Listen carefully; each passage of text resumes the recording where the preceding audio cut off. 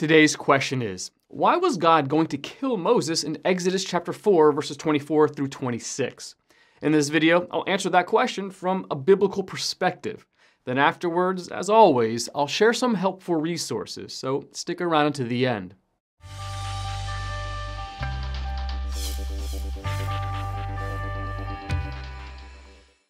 God had called Moses from the land of Midian to return to Egypt and lead the Hebrew people out of slavery.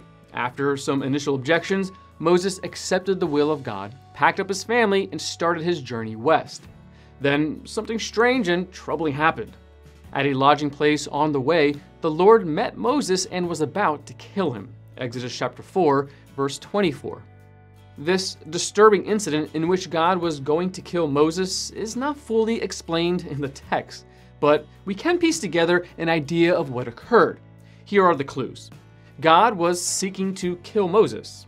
Zipporah, Moses' wife, took a flint knife and circumcised their son. After the operation, Zipporah touched Moses' feet with the foreskin. Zipporah called her husband a bridegroom of blood, referring to the circumcision. At that point, the Lord let him alone. Exodus chapter 4, verse 26.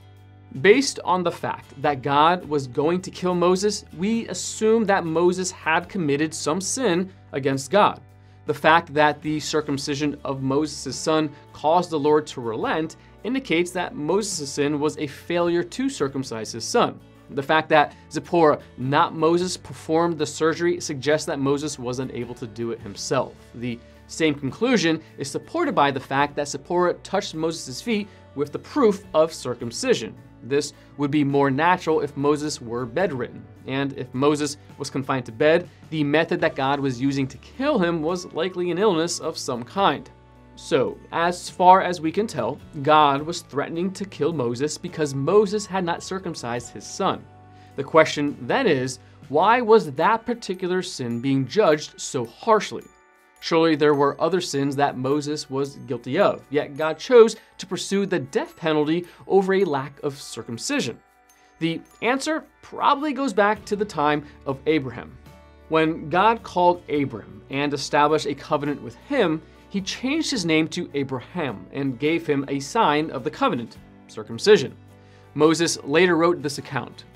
Then God said to Abraham, As for you, you must keep my covenant you and your descendants after you for the generations to come.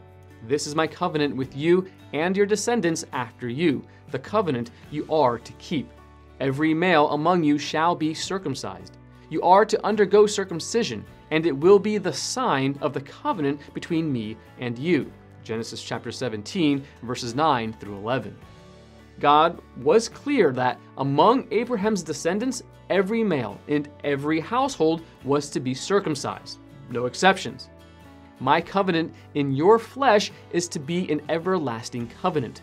Any uncircumcised male who has not been circumcised in the flesh will be cut off from his people. He has broken my covenant. Genesis chapter 17, verses 13 through 14.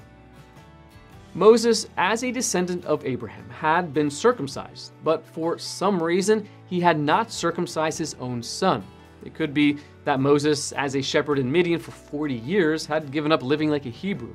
Or perhaps he assumed he was already cut off from his people, so why bother with the sign of the covenant?